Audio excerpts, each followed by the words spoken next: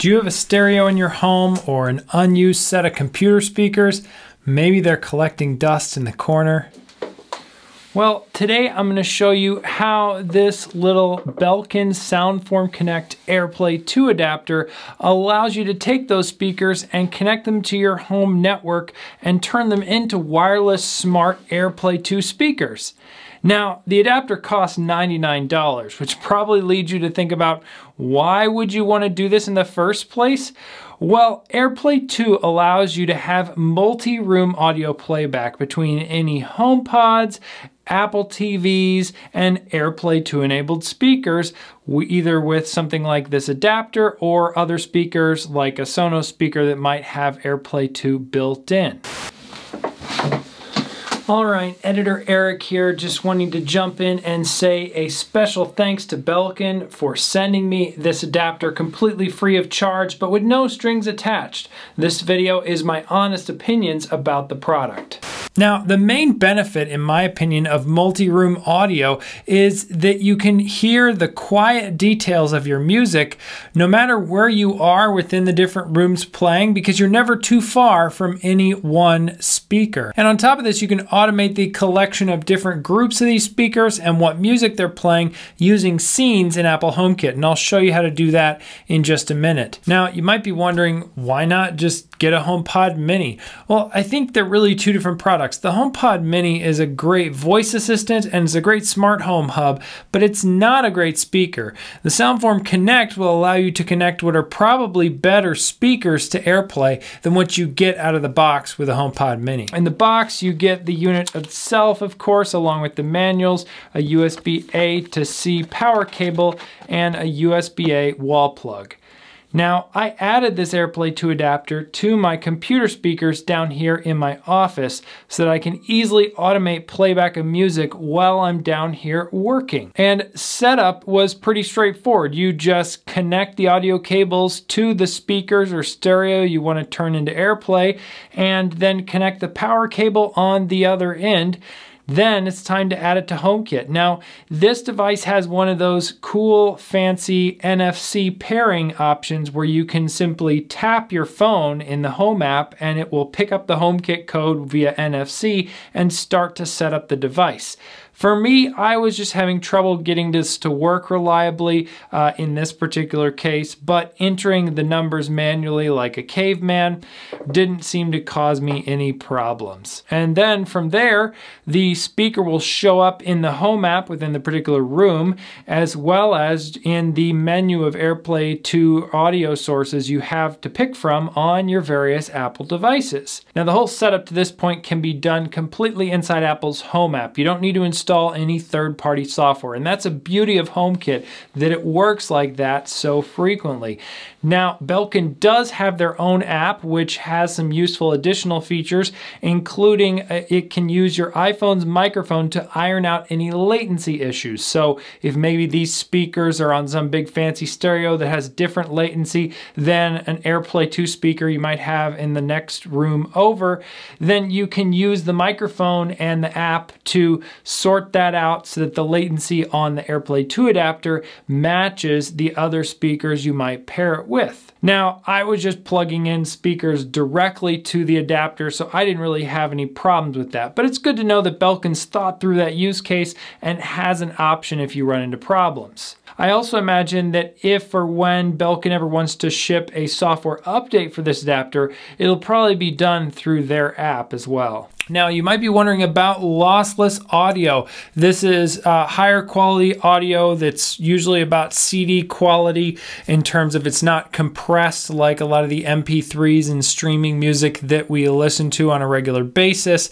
And the AirPlay 2 specs can support 24-bit 48 kilohertz audio. And this Belkin Soundform adapter is rated to support 16 bits at 44.1 kilohertz, which puts it squarely into the uh, middle tier of Apple's new high resolution music offerings. So it's unclear at this point because uh, Apple Music's high res tiers haven't actually come out to the public uh, whether AirPlay 2 devices like this Soundform Connect will be able to support the highest tiers of Apple Music high resolution audio playback, but it can at least get you much better than compressed MP3 or what you get through something like Bluetooth. You might also be wondering about other apps outside of Apple Music for lossless audio, uh, maybe something like Tidal, and if you have access to those and provided they can stream over AirPlay 2, everything should work just as usual. You might also be wondering about spatial audio or just surround sound music in general. Now,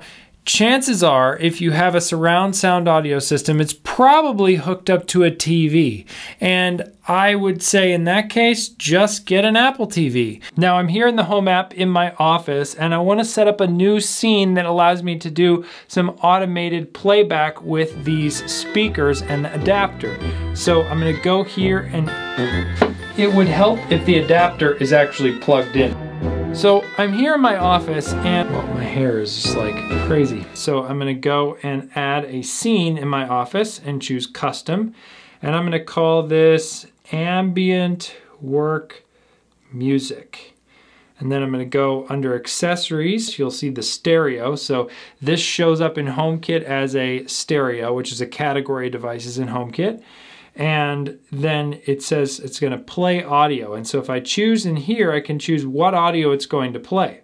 So uh, right now it's just going to use the current volume, but if I wanted to, I could set a custom volume for this scene. And then I can choose whether it's going to play audio, pause audio, resume whatever was previously playing, or just use this as a scene to adjust volume. So there are a lot of automation potentials there that you can kind of chain together or trigger at different times of day, etc. But I'm going to just choose audio to play right now. And I have an Apple Music subscription. So I'm going to go ahead and search for the Pure Ambient playlist on Apple Music. It can be a good, just uh, very um, simple background music to work to. So I'm going to just go ahead and add that playlist. And so then it will play that playlist when I trigger this scene. So I have the scene, it's set to play that audio. I'm gonna hit done to go ahead and create the scene. And now you'll see right here on my screen, I have ambient work music as a scene and I can tap that and it's gonna go ahead and trigger playback of that music right here on my speakers. All right, Editor Eric here one more time to explain another way that we use this kind of AirPlay automation at home with HomeKit and we use it all the time. It's a big help. And that one of the killer ways to use this is grouping a number of speakers together with specific music to play. And then you can trigger that as you can see in the tutorial just with one tap of a scene or asking Siri to turn on that scene. And we have a dinner jazz scene which shuffles the curated piano bar playlist from Apple Music and does it in a group across a number of speakers in our downstairs. So it's a really nice way to just class up the downstairs uh, as we're having dinner and it's so common now that my two-year-old even knows about the scene and wants it when we don't put it on. As far as using this device, I found the experience to be pretty good, especially from iPhone and iPad. Now, macOS with macOS version 11 is seems to be a little limited in how well it works with AirPlay 2 speakers like this.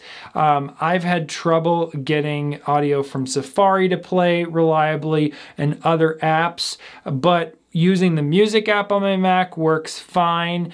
Uh, so it just depends on what you're trying to use it with. I wouldn't count on being able to say, have this as like a mostly connected desktop speakers through the same AirPlay channel. Um, you might have to, you know, for example, these speakers have multiple audio inputs, so I can have one that's my computer speakers and then change the input and it's AirPlay. And that's one of the other downsides is that if you do happen to have speakers or a stereo system that's multiple inputs, you're obviously going to have to have the stereo on uh, and onto the AirPlay input if you want music to just play through it. As I mentioned at the start of the video, I think if you already have speakers, let's say some old computer speakers or a stereo that you'd like to bring in to be part of your smart home, this is a great adapter to do that. And $99 for that can be a great deal.